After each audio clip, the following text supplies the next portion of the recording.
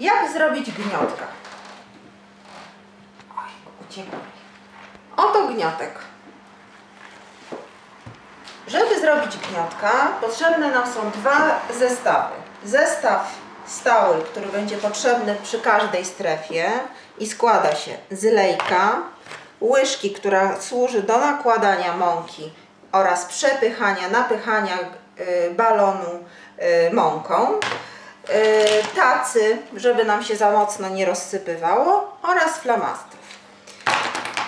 Dla bezpieczeństwa osoby, która będzie prowadziła zajęcia, jest fartuszek, który też jest w tym zestawie stałym.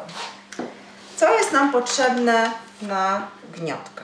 Dwa balony, nie przepraszam, jeden balon, dwa balony nam nie będą potrzebne, jeden balon oraz mąka.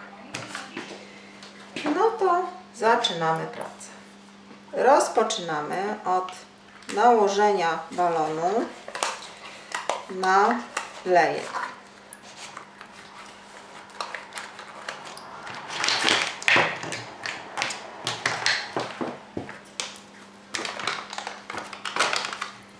I wsypujemy mąkę.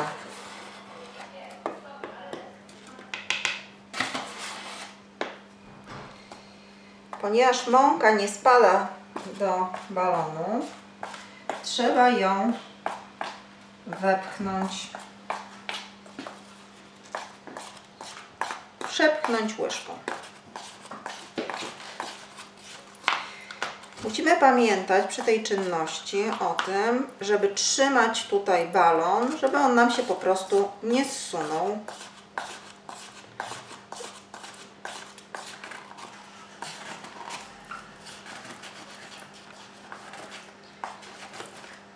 Niestety ta czynność trochę trwa. Nie robi się tego bardzo szybko. I osoba, która to robi, trochę jest ubrudzona w mące.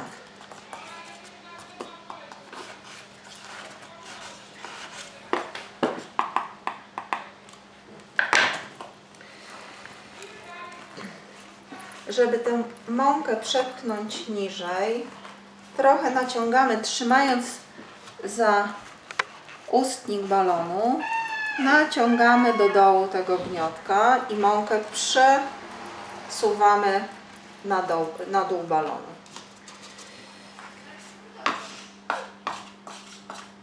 Po czym kolejny raz napychamy balon mąką.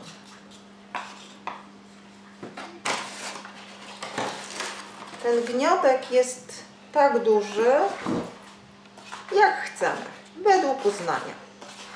Wiadomo, że w przypadku osób, które e, będą na strefie, będą uczestniczyły w zajęciach, ten gniotek nie może być zbyt du duży, ponieważ będzie to trwało za długo.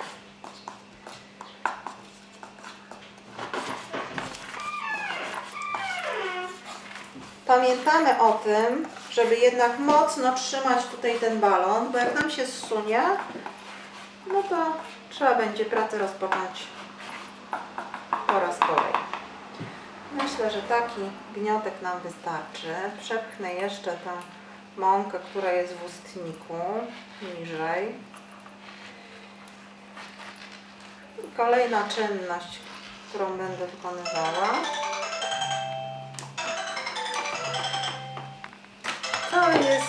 Wiązanie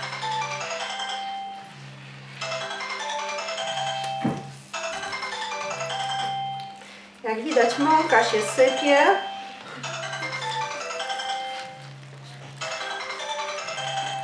Ale to niestety trzeba wpisać w robienie gniotka.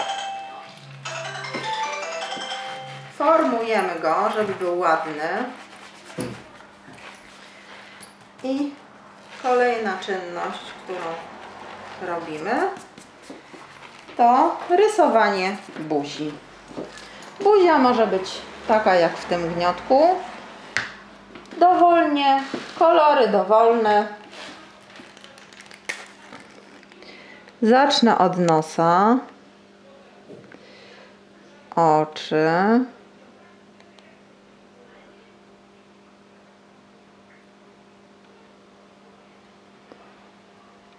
rzęski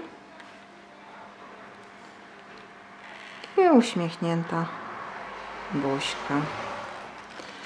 I oto gniotek gotowy.